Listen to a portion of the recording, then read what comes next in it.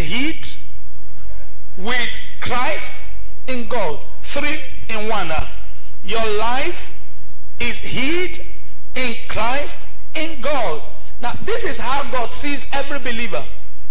Unfortunately, because of religion, believers have failed to see themselves the way God sees them. Your life is hid in Christ, and Christ is in God. There is no duality under this circumstance. There is no God here, Jesus here, and I'm here. No, the Bible says I am in Christ, and Christ is in God. It means that to touch me is to touch Christ, and to touch Christ is to touch uh, God. Now let's look at the next verse. We need to avoid duality. We live a life of duality today. No wonder we are not getting the best of God. When Christ, everybody say, when Christ, who is our life? Is it different from us? What is Christ to you? It's your life. This life you live now is Christ living. He said, when Christ, who is our life. Unfortunately, we think we have a different life.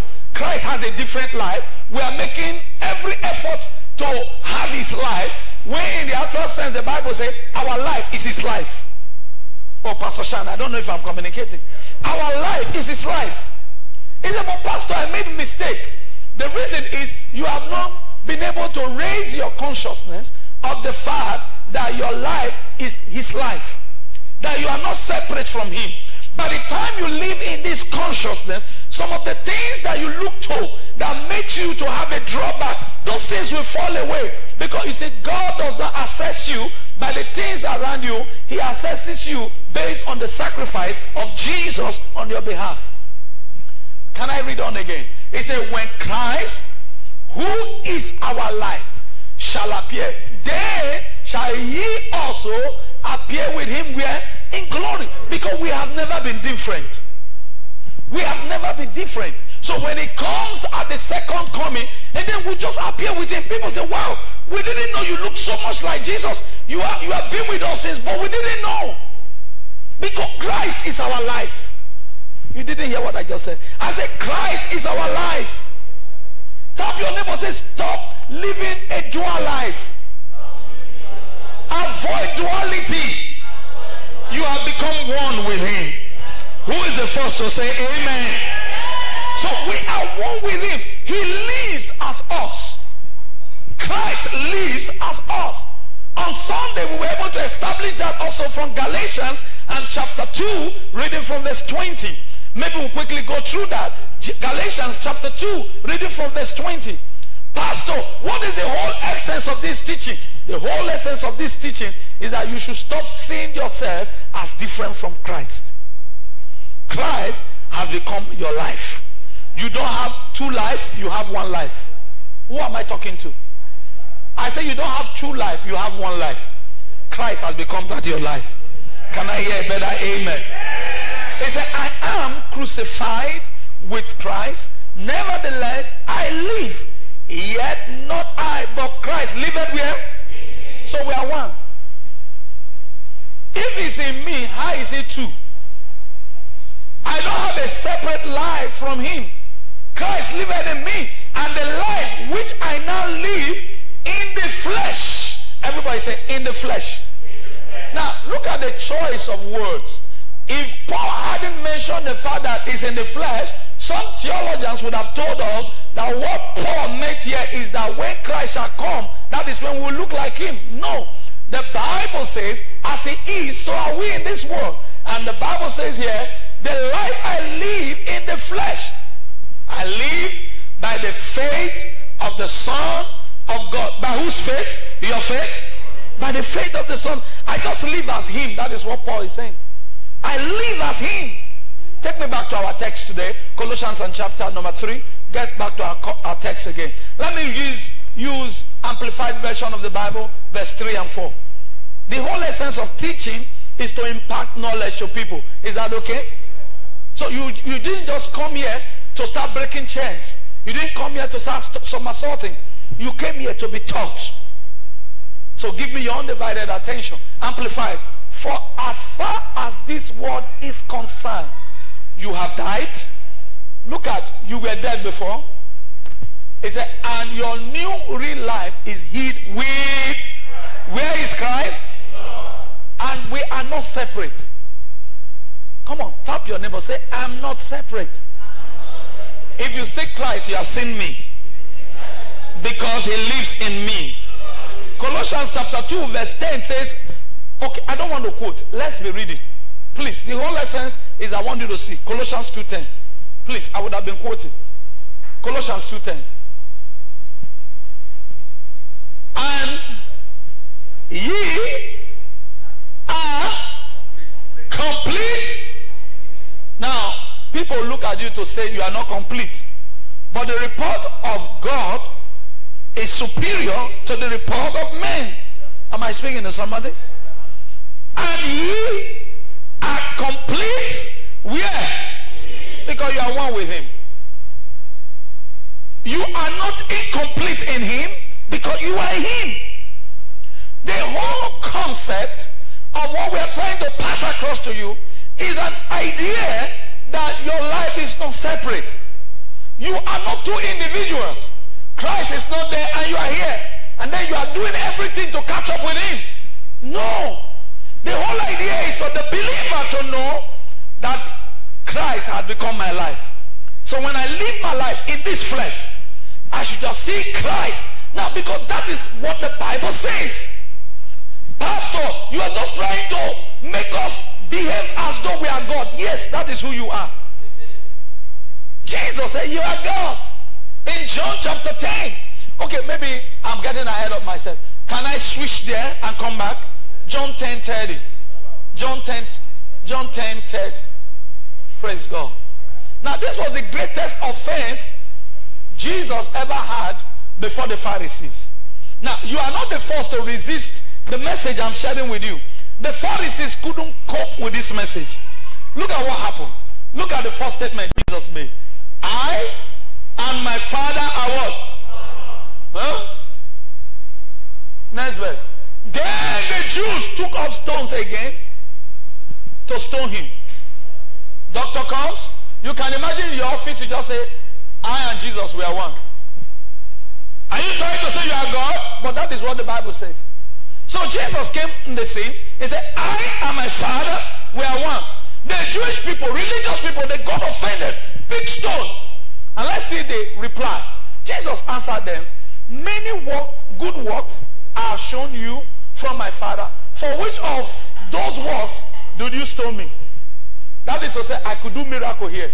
People will be shouting, Pastor, he is a man of signs and wonders. But experiencing a man signs and wonders does not make any impact in your life. Can I repeat that again?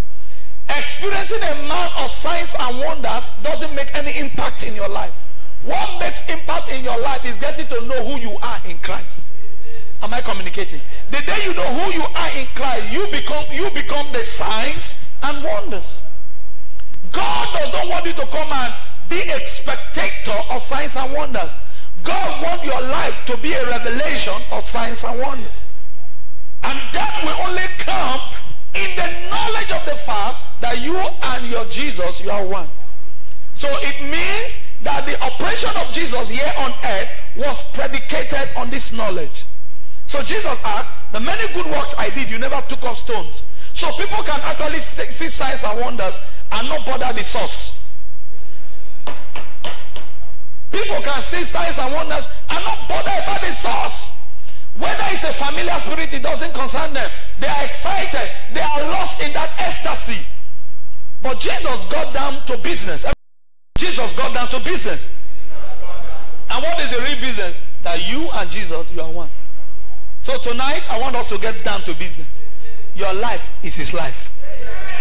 Now, when you start living in this consciousness, no sickness will ever remain in your body.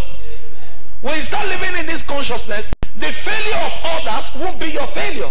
Because you just realize that they look like you, but they are not you. They look like you, but you are Jesus. They are something, they are human beings. Am I speaking to somebody here? Now, let me finish this reading. Is uh, the Jews answered him, saying, For a good work we stone thee not, but for blasphemy because that thou, being a man, make thyself God. You see, you are not the first to have this to have had this struggle. I just shared with you now that Christ has become your life. Some people look at me. What's pastor trying to say? Instead of pastor to just tell us that as you are living here, there is a miracle waiting for you. The best miracle is for you to know that, that he lives in you, that you are one with him. Avoid duality. As you walk this world, avoid duality. We have so many Christians. There are many Christians who don't even know what you are knowing today or what you have known. So that they are Christians does not mean they will enjoy what you enjoy. You enjoy because you know. Am I speaking to somebody? He said, You shall know the truth, and the truth you know makes you free. So your freedom is tied to the truth you have known. Your miracle is tied to the truth you have known. Oh, come on, sister. I say your miracle is tied to the truth you know. Glory be to God forever. Jesus answered them. Is it not written in your law? I said, come on, read with me. I said, so Jesus said, I was not blaspheming my father. I just told you the truth. Now, can you imagine you get to your office tomorrow, Engineer Silas, and you just saying, Ah, and Jesus, we are one.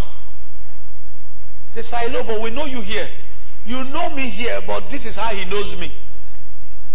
And this is how I've come to know myself. I don't have a different life from him. I don't have a separate life from him. We are not two individuals trying to be compatible. If we were trying to be compatible, how come he lives in me? He didn't struggle to live in me because we are one. Did you get that statement?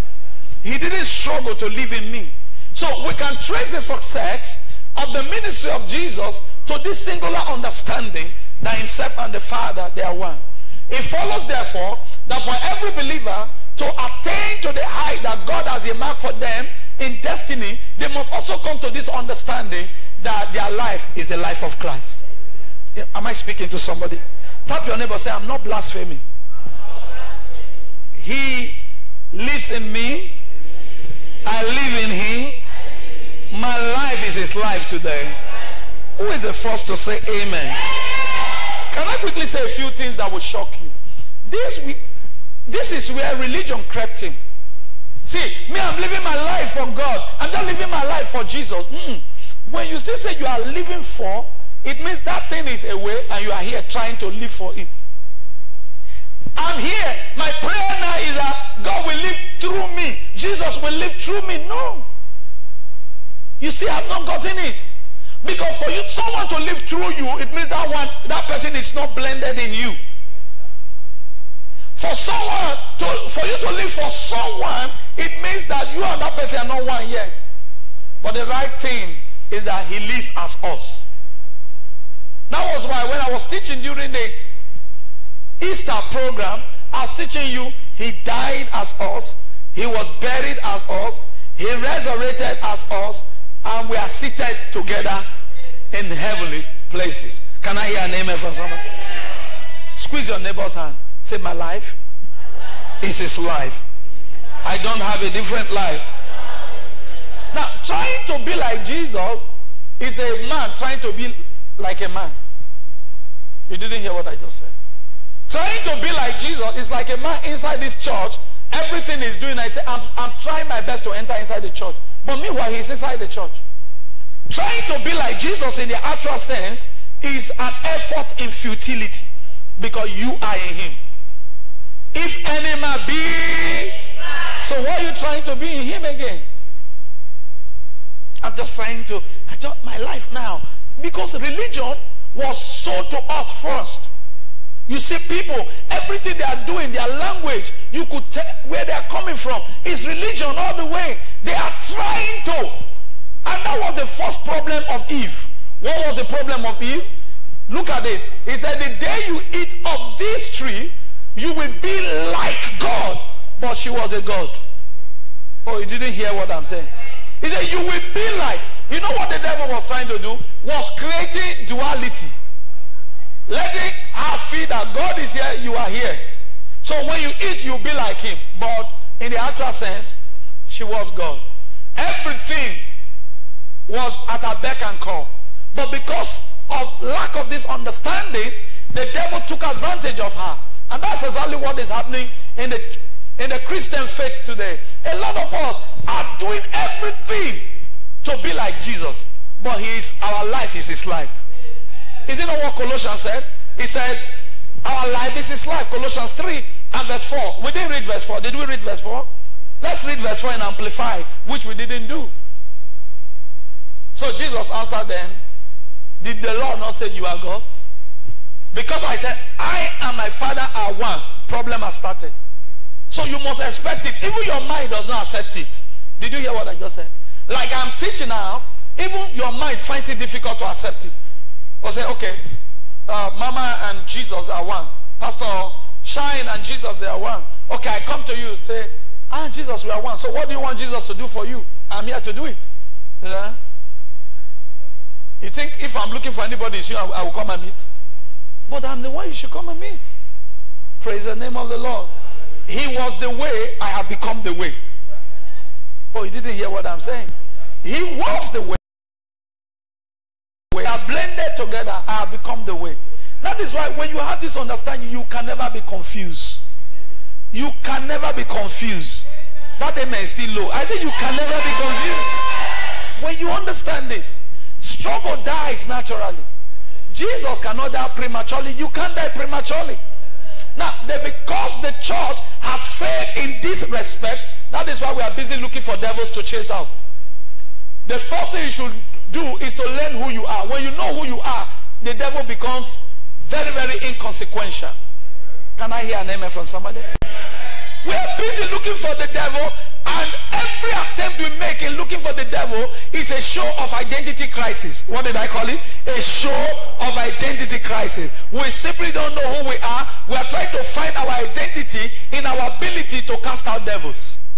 So we look for devils, and, we, and then we now say, God is with me. No, he went beyond God with me.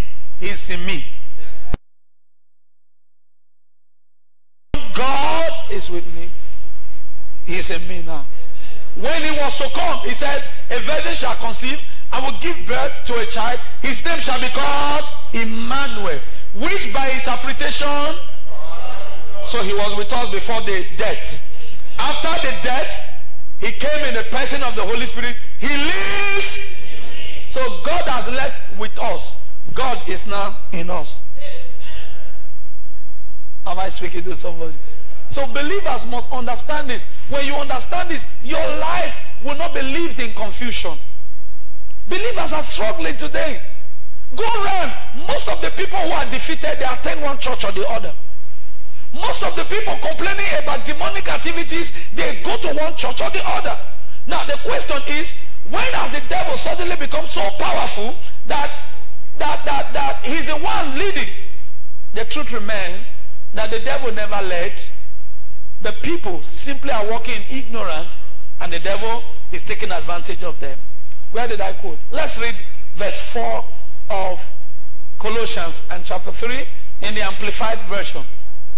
When Christ, who is, what is your life? So look at yourself. Say, Christ is my life. Come on. You see, people are still having struggle in their mind. Look at yourself. Say, Christ is my life. Look at your body. Are you saying sickness can't stay there? Christ, Christ is my life. Are, are, you saying it? No. Can we look? Can you look at yourself? Say, Christ is my life. Christ. Now, you need to keep saying this over and over until it gains the mastery over your mind. What I'm trying to say is that you must come to terms with the fact that your life is Christ. Tap your neighbor. Say, neighbor, this life is Christ's life. So do you need do you need do you need increase? Touch this life. Touch this life. Can you can you impact that life? Glory be to God.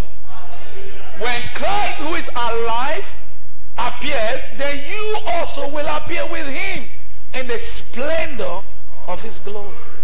Christ is my life. Message rendering of verse 4. Christ is my life. I don't have a different life. Avoid this duality. And that is what we are teaching about. Avoid duality. Stop trying to put Christ there and you are chasing after him. he has become your life. When Christ, your real life. Come on.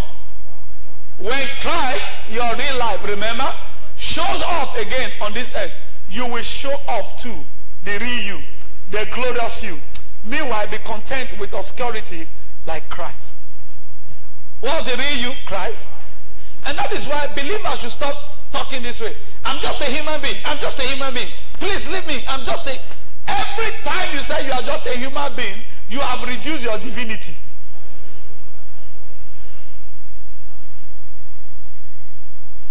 It deadens the consciousness of your divinity. Now, it makes you to be subject to what other human beings are subject to. It brings you under the vicissitude of life. It makes you a servant and a slave to the, the God and the power of the air. So how do I live above these things?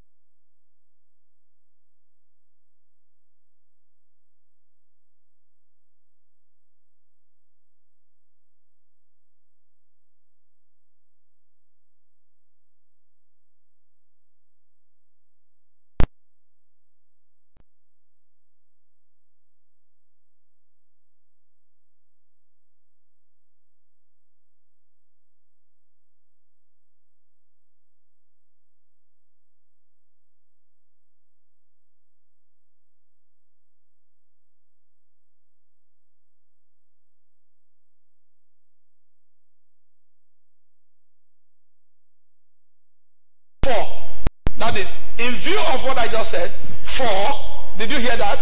In view of what I just said, for, it is which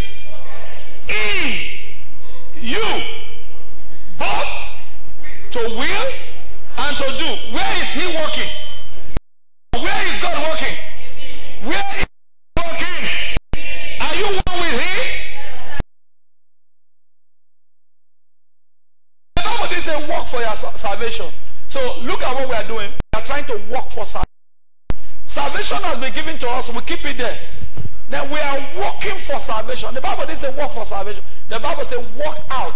That is what is already in you. Live that life out. Come on. Are you getting what I'm saying? Take note. The Bible didn't say work for your salvation. When people quote this, they quote this scripture with the mindset of people working for their salvation. The Bible didn't say work for your salvation. It said work out what is already there. For it is God who worketh in you. He is already in you. So live in the reality of it. Stop this duality. Avoid duality. Stop putting him there and you are here. You are working for. You are working to get. No. In the actual sense of it, he is in you. Walk in the reality of who he is. For it is God who worketh in you. Both to will the will to say, I need this, I want to get this done, and to do of what? His good pleasure. So your life is actually saturated in Him. Oh, come on. Why are people not shouting in church today? Maybe if I just told you receive breakthrough, this is the greatest breakthrough. People are tired of breakthrough. Have you noticed it? Pastors have promised people things until when the promises stop coming, the people stop coming to church. Do this in the next five days. If it doesn't happen, know that God didn't call me. And when it doesn't happen, do you, would you stop the call of God upon a man's life? No. But when you know this, this becomes your freedom. When you know this, you can want to, when you want to sleep, this is how you sleep. Father, thank you. Want to sleep? You are in me. Ah. But when you don't know this, Pastor, I had a nightmare. Witches, they came and pressed me, if not for God. So God came from outside to save you. Meanwhile, he is in you. Are you seeing what religion has taught us? They were pressing me. Something was pressing. All of a sudden, God just came and helped me. In short, I saw one angel. Tap your neighbor, say, It is God that walketh in me, both to will and to do of his good pleasure. Now, why is this teaching so important? When you understand this teaching, the desire to live this life becomes easy because you just realize he's working in me. Come on. I mean, he's still working in me. He's the one working in me. Both to will and to do of his good pleasure. Now, I can't do the pleasure of the devil. Because he's in me, I do his pleasure. So to live a life that people in the world call holiness, and they, they are struggling to live that life because they think they are trying, they are, they, are, they are working for their salvation. They are working for holiness. They are working for righteousness. When in the actual sense, it is here. I'm very holy, and I'm working in the consciousness of it. Avoiding duality is your sure way to victory in life. Thank you for saying amen because that is the high point of this discussion. Avoiding duality is your sure way to a life of victory. I'd like to quickly show you three more scriptures I'll be planning to draw the curtain for today. Is somebody being blessed tonight? Now, but did you notice where we read in John 10 30 that there was no duality between Jesus and the Father? Was there duality? Come on, talk to me. Are you afraid to say no? I mean, there was no duality. Do you understand the word duality? Do we all understand the word duality? Because I defined it in part one. Now, what I mean to say, they never lived separately. They were one. Jesus said, I and my Father were what? Is right there on the screen. I and my Father. So you too can say, I and Jesus were one. Can we say it? So maybe on Sunday before I preach, we will we'll be doing all that. You know why? Because we, we need to avoid this life of duality. Can we say it again? I and Jesus are one. Now, can you say that to your neighbor? Introduce yourself to your neighbor. Now, talk to your other neighbor. Let your neighbor, let them know. You know, some people have already seen others to be wicked people. See, that man is a devil. Mm-mm. When you become a believer, you are in him, living in this consciousness. I and Jesus are one. Can we say that again?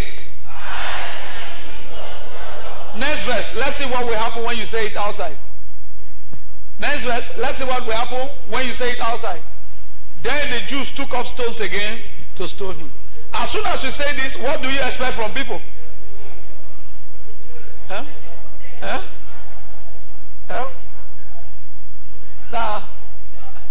Hello? IK. Do you realize that as soon as you start living in this consciousness, no prophet will collect money from you again? You can imagine you just go out now and just say, somebody just say, I and Jesus, we are one. And maybe one prophet was already targeting you. A prophet just realizes that if Asaph and Jesus are one, then I have no market there, no business there. It's a bad market. So I want not to say it until it settles down in us. I and Jesus. Okay, would you say say this to your neighbor? Say, Jesus and the Father never had a dual life. Now, now look at me and say, Pastor. I and Jesus, we don't have a dual life. We are one. Say to me, say, Pastor, as I walk out of this door tonight, I'm walking in this consciousness that Jesus and I we're one. So, am I speaking to somebody? Now, when we, if you dare live this way, no space for the devil. The Bible says, give no place to the devil. But our churches today are the one giving place to the devil. He said, you see, in the night, devil attacked me. They want to give testimony. And devil attacked me, and the devil did this, and the devil did this. One hour they are talking about the devil. And then they behave like our Nigerian home movies. When after dealing with a man for one hour, 30 minutes, in the next two minutes, victory will come and they say, To God be the glory. No, this life I'm here to enjoy. It's better I enjoy Jesus all through. Can I hear an amen from somebody? So say to your neighbor, I and Jesus I won. Luke 17 21.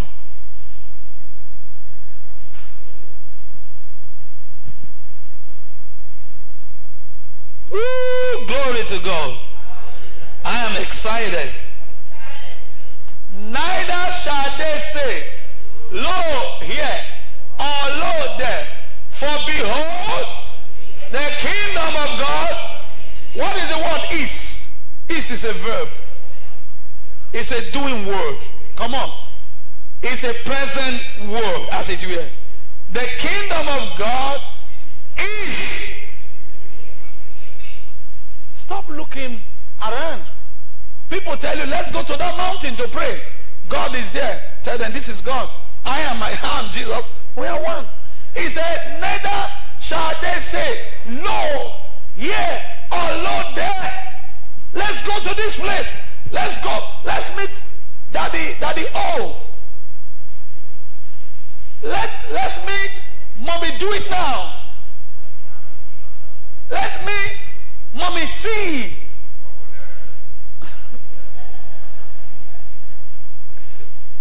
Let's meet Daddy Do. When you just get there, the man will tell you all your problems. You know, you know why that happens? Because Christians have lived a life of duality. So when you see such Christians, you now see their problem. Come on, am I communicating? It's easy to know the level at which people are operating with or oper operating from. When they live this life of duality, they will always look for fig leaves to cover up. What did I say? They will always look for fig leaves to cover. They feel God is there. Let's run.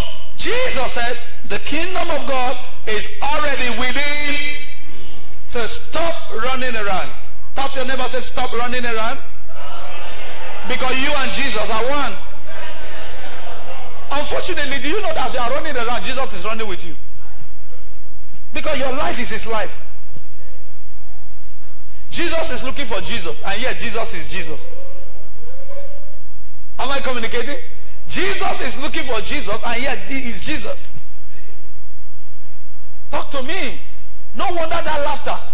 It's a good laughter. It's a very, it's, it's pathetic. The body of Christ. You carry Jesus. You are looking around for Jesus. Now, you could tell the success in the ministry of Jesus. And you could tell the failure of the Pharisees. The Pharisees believed in the law. We must fulfill this law if God must intervene in our life. Jesus said, I came to fulfill the law. And for me to fulfill this law, I need the Father in me. So I and my Father, we are what? So any miracle you see, it's me and my Father doing it. So let me tap your neighbor. Every miracle you see in my life, it's me and Jesus doing it. Is somebody getting blessed today? It's beginning to sink now. Come on, it's beginning to sink now. I and Jesus, we are one. Maybe what we will do, we'll write it, this inscription, just paste it everywhere in the church. So we will just come, you look, I and Jesus are one. Huh? You struggle with your mind first. You look at it again. I and Jesus are one. Of course, we are going to put it there. John 10, 30. So you look at it. Let me avoid duality. Avoid duality. The kingdom is already within you. He's able to do exceeding abundantly above all you ask of him according to the power that is where. Now, do you know that all things, when we begin to live in the consciousness of this, we will not be praying like this again. Father in heaven. Our Father in heaven. You know what we are just saying? Our Father that is not here is there. Uh, you see, I'm, I'm beginning to attack religion. He said, but Jesus taught his disciples to pray. Can I ask a question? Did any of the apostles repeat that prayer again? Our Father who art in heaven. Don't forget, Jesus had not died then. He was God with us. But after his death, burial, and resurrection, which of which was a substitutionary work for us, he was no more with us, is now in us. So if it's in us, it would be wrong to say, Father in heaven, hallowed be thy name, thy kingdom come, that will be done on earth, give us this day. None of the apostles prayed those prayers. You know why? The word our Father in heaven conveys distance. Come on. Conveys what? Distance. And it negates the concept of you and Jesus are one. Come on. Am I speaking to somebody? It also is contrary to the revelation of scripture that says the Holy Spirit will abide with you now for how long? But the Holy Spirit was not abiding with the disciples, so they could pray that prayer, Our Father in heaven. But now the Holy Spirit abides with us forever. Am I confusing you? Are you being blessed tonight? Now look at your neighbor with a smile. I am Jesus. We are one. Say to your other neighbor. Now turn to your other neighbor. I am Jesus. We are one. Now, can you imagine? You are traveling, whether by air, land, or sea. I and Jesus were traveling today. Come on. I and Jesus we are going to walk today. I and Jesus we are going to, we are going to the village today. Now when you live in that consciousness, all this preaching everywhere, witches in your village, you go enjoy yourself and the witches will greet you and give you gifts. Glory be to God forever. Squeeze your neighbors and say, "I and Jesus. We are one. We are one. Say it like you mean, say, and Jesus. We are one. Now, it also means when I want to eat, I and Jesus can be eating.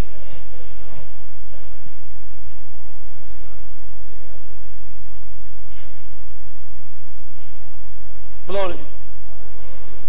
Now, look at another thing. When we start living in this consciousness, our song will change. What did I say? Pass me not a gentle Savior. Yeah, don't play the keyboard. Hear my humble cry. What? Now, it conveys a consciousness of distance, true of us. It means you are here, he is passing. And you are, you are begging him, today you are passing, please don't pass me by. Savior. Unbelievers can sing that song, but believers shouldn't sing that song. The reason is an unbeliever had not had the Savior in him. But for you, who you and him are one, you don't need to sing it. Because when you are singing it, it conveys distance. And what is the distance?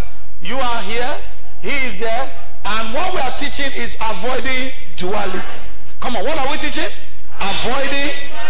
Come on, say it for the last time. We are teaching on avoiding. Because your life is not separate. Colossians said, Christ is my life. So if Christ is my life, it is wrong for me to say, pass me not. Now, when you know all these things, there are songs that naturally changes. I've heard so many things being sung today. There is something that make me come into your pleasure. My, oh my, and then you now see Holy Ghost soup. You can see such people they live a life of duality. Come on, what did I say? They live a life of. I shouldn't think that way. He lives in me. Where did I go? Okay, look at Engineer Salah. This is how some people pray.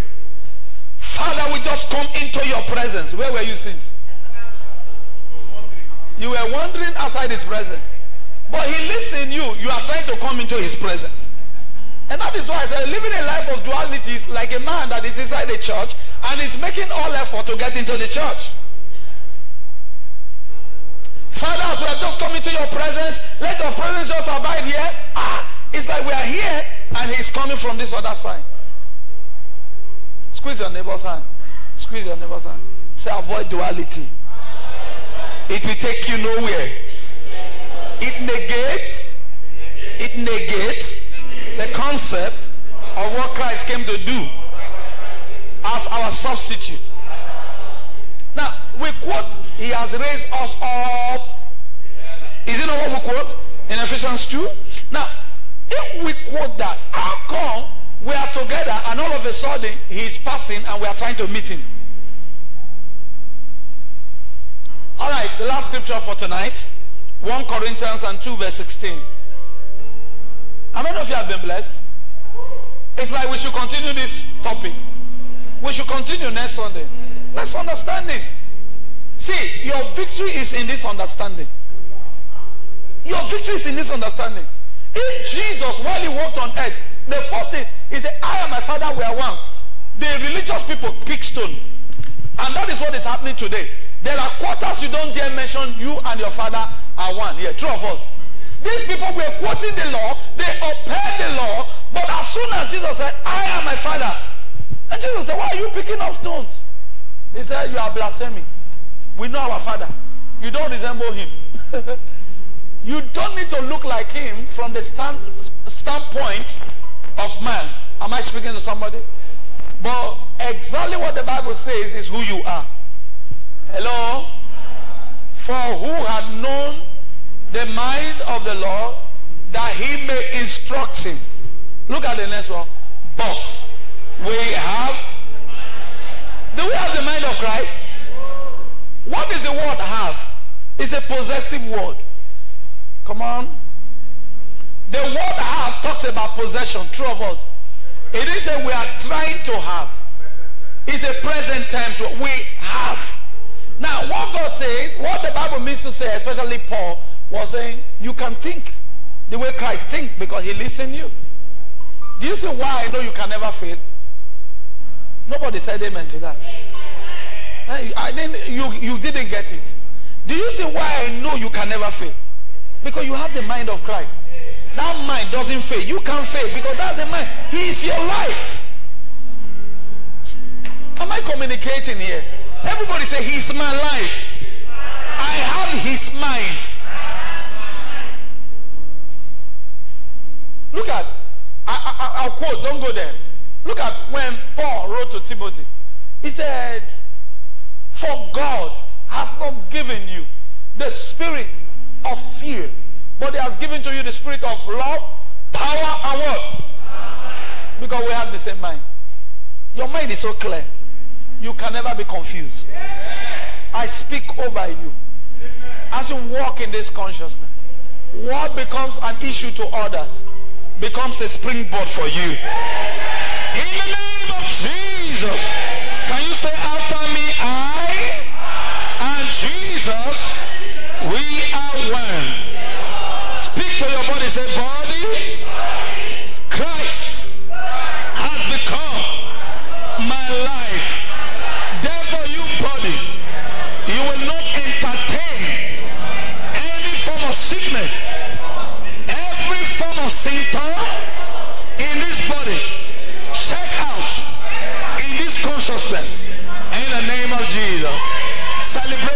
Victory. God bless you tonight. Celebrate your victory. What a mighty God we serve. Holy are you, Lord. All creation